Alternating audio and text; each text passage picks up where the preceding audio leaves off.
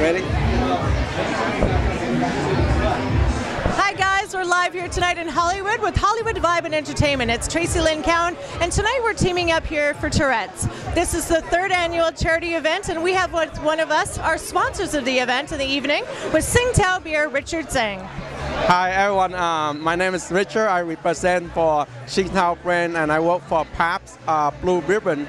And I'm very fortunate to be part of the event and totally support the Tourette's event. is a great charity and uh, I'm here to uh, have fun and um, hopefully uh, everyone have the same mentality, support the uh, charity and uh, we appreciate you being here, Richard, and we appreciate Tsingtao Beer. So as you can see, Richard enjoys the product as well. So it's not just everybody else. It's actually a very light, nice beer.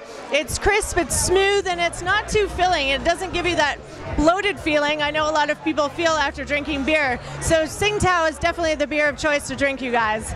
We appreciate you coming out here tonight for such a great event, Richard. We appreciate your support. Oh yeah, thank you for everything. And like I said, I'm happy to be part of the event and support Tourette's go for it. Yeah. Absolutely. And where do we find you on social media or where do we find Tsingtao and Pabst Beer? Uh, TsingTaoUSA.com uh, and uh, it's available at a lot of Asian supermarket. Thank you.